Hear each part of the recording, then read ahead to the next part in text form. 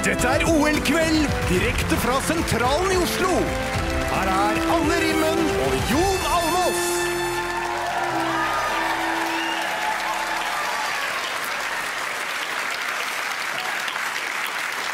For en dag det har vært! Langrennsgutta har stått for noe ekstraordinært. Det er selvfølgelig kjempepopulært.